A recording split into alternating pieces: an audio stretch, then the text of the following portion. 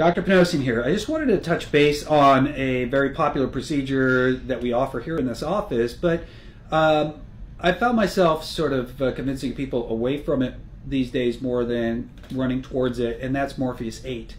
Um, what is Morpheus 8? Morpheus 8 is basically a, an energy driven device where a series of needles comes out of a, a, sort of a handheld type of a gun and it goes into the skin, zaps the skin, and comes back out.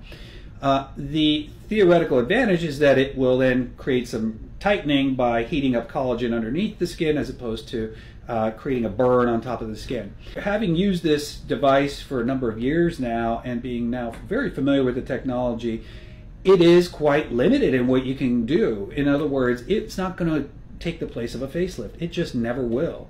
Um, and it's important to understand that. It is a skin tightening procedure that does not work on everyone and does not work on every part of the body.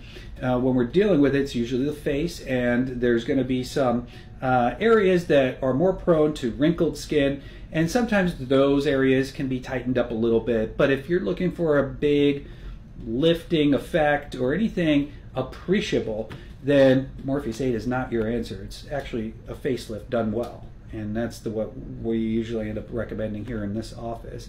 So just a, little word of caution about Morpheus 8. It is also very expensive. Uh, oftentimes people need more than three sessions to really see some level of benefit, and that can get very pricey. So the, the economics of it are not there either necessarily for this technology.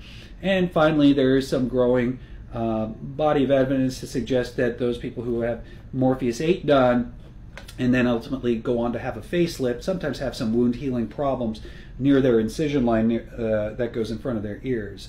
So just a little word on Morpheus 8. It does great when it's for the right patient, but uh, in general, it does not take the place of a facelift or surgery.